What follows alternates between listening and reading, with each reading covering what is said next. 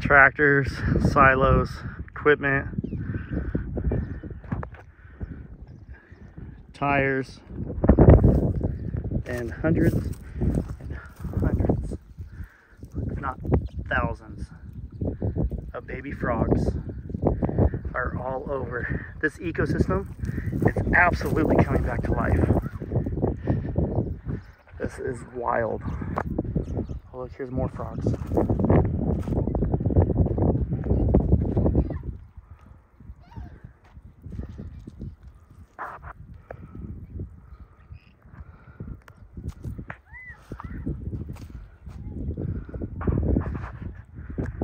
Tires. The lake goes out into the oblivion. This is insane, guys. And we're kind of out here on a levee slash dirt road. I have no idea how far out we can go, but I don't feel like driving down it. And they are also, looks like they are attempting to build a new levee that is really tall to help keep the water away from Corcoran. And it looks like the only spot they have to finish is the road crossings right here. So I, am assuming as the lake levels start coming up, they'll start connecting those two levees together. Well, we're gonna find some more frogs right now. This is just, this is phenomenal. This is, this is just beautiful. I've, I've read stories about this lake from way, way back before I was even, my before my mom and my grandma was even born. Just the history of this lake is just beautiful. Right here you have nature and human trash mixing together.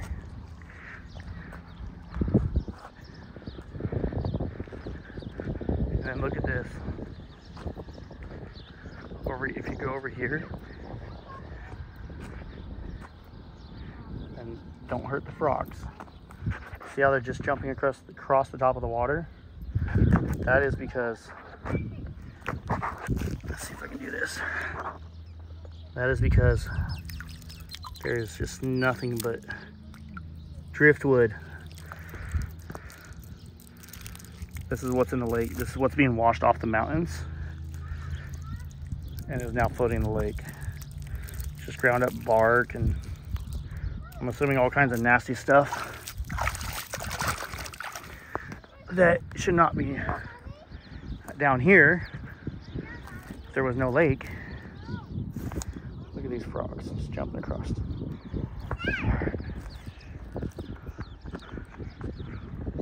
We're gonna walk over here.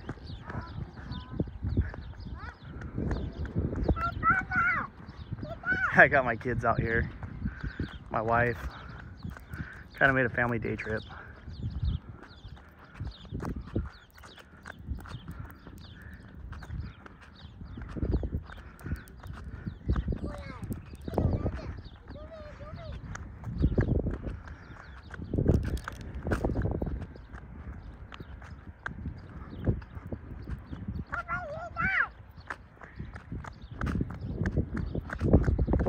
I was honestly tempted to bring my jet ski out here, but I decided against it. I was gonna put the jet ski in the water and just go out real fast and come right back. This is just phenomenal. Look how this road just disappears into the water.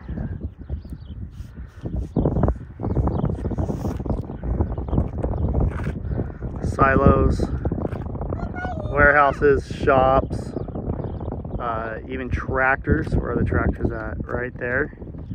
Tractors, all stuck in the water, not able to be recovered at this moment in time. Uh, chemical bins.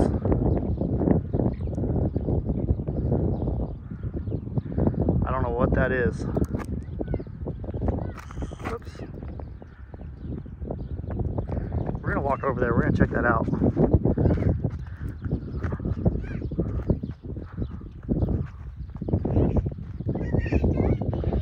Baby. We got more frogs jumping over. I got my daughter running up to me right now, guys. So this This was recorded by me, Jacob, at Dad's Gone Live. But I made a family trip out of it, so I got my wife and kids with me. Hold on, Sissy, stay right there.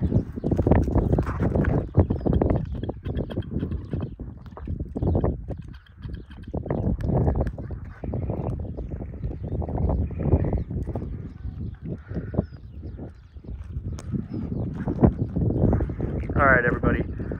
We're gonna go ahead and end this video. If you guys like what you see, you wanna see some more stuff like this, maybe uh, you guys just wanna see some frogs jump around in Tulare Lake, hit that like, hit that subscribe button, and don't be afraid to follow our page and check out our live streams. Uh, we do a lot of scanner calls. We chase a lot of police action. I do not take my kids with me on that one. I am named, I named my channel Dad's Gone Live because the most important thing to me is family and I'm a family man live streaming. So as you guys can see by my shadow, got my daughter walking with me right now.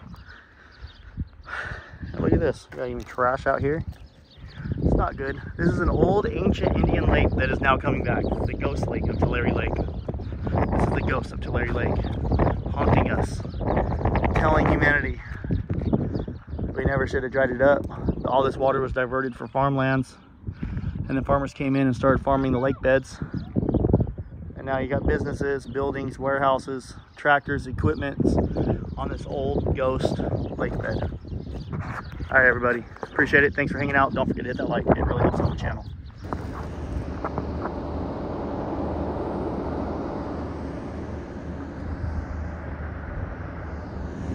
Way off in the distance you can see a dairy that is completely flooded.